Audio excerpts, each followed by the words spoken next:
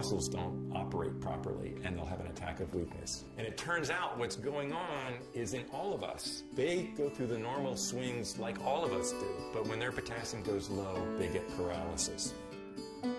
My name is Monica. I had symptoms my entire life of weakness, pain. In my journey for my diagnosis, I have been judged and I have been accused of faking it. I was diagnosed when I was about 20 years old. I was diagnosed with periodic paralysis probably about three or four years ago. It's just kind of been with me my whole life. I don't know how much of my life will allow me to ride and compete, but it's my passion. It's what I love to do.